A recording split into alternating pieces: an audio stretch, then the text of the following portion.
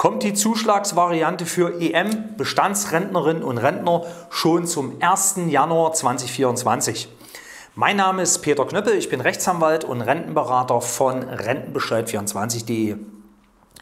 Die Bundesregierung hat im Zusammenhang mit der Rentenerhöhung 2022, die ja zum 1.7.2022 kommen wird, auch beschlossen, dass die EM-Bestandsrentnerinnen und Rentner einen pauschalen Zuschlag ab dem 1.7.2024 bis zu 7,5 Prozent erhalten sollen.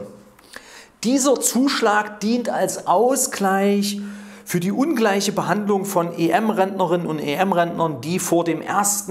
Januar 2019 eine Erwerbsminderungsrente oder Hinterbliebenenrente erhalten haben und deshalb von der neuen erweiterten Zurechnungszeit ab Beginn einer EM-Rente nach dem 31.12.2018 ausgeschlossen sind oder waren. Wer also nach dem 31.12.2018 eine EM-Rente bekam, hatte eine pauschale Zurechnungszeit bis zu dem 65. Lebensjahr und 8 Kalendermonate erhalten. Wer die EM-Rente vor dem 1. Januar 2019 erhalten hat, also mit einem Tag Unterschied, der bekam nur eine Zurechnungszeit bis zum 62. Lebensjahr und drei Kalendermonate gutgeschrieben. Sind in der Summe drei Jahre und fünf Monate Unterschied. Und für diejenigen Rentnerinnen, deren EM-Rente nach dem 31.12.2000 und vor dem 1.7.2014 begonnen hat, soll es zum 1.7.2024 einen pauschalen Zuschlag von 7,5% geben.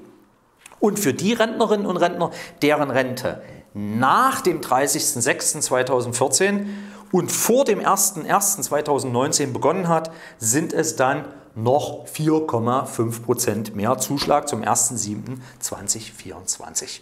So ist der Stand des Gesetzgebungsverfahrens vom 13. Mai 2022.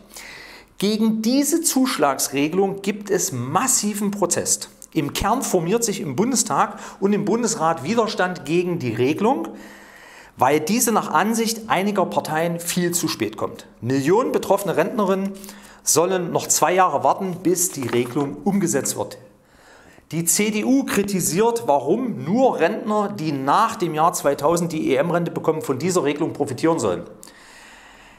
Eigentlich sollten doch alle Versicherten, die auch vor 2001 eine EM-Rente bekommen, von der Zuschlagsregelung profitieren. Dass sich gerade die CDU hier in die Reihen der Kritiker stellt, ist wirklich bemerkenswert. Wir wissen ja aus der Vergangenheit, dass es gerade die Christdemokraten waren, die alle oder viele Verbesserungen in Sachen EM-Rente oft vehement blockiert haben, vor allen Dingen mit dem Argument, es gebe ja nicht genügend Geld dafür.